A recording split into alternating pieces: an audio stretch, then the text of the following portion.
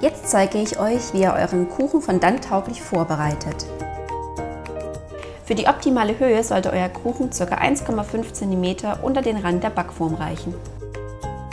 Zum Überziehen benötigt ihr ca. 350 bis 400 Gramm Schokolade oder Kuvertüre.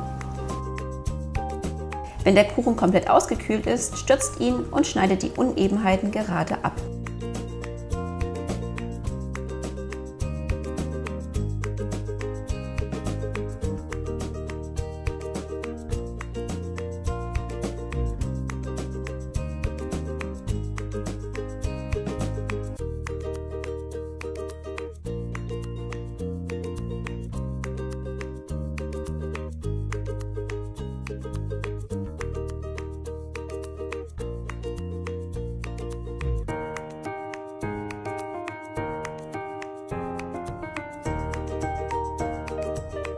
Stellt ihn nun auf die Tortenplatte und führt ihn mittig über die Stange.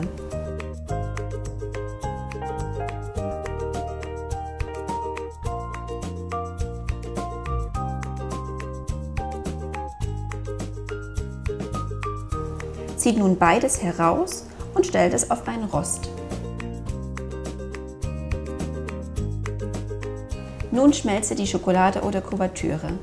Das könnt ihr im Wasserbad machen oder in einem geeigneten Kunststoffgefäß in der Mikrowelle.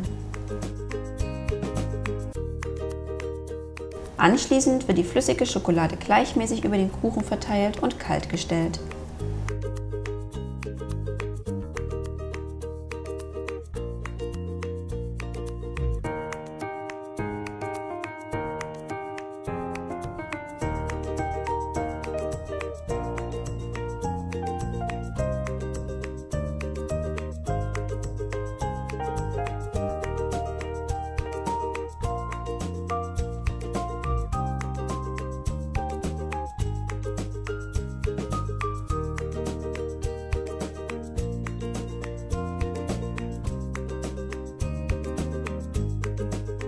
Sobald der Mantel fest ist, könnt ihr den Körper dekorieren.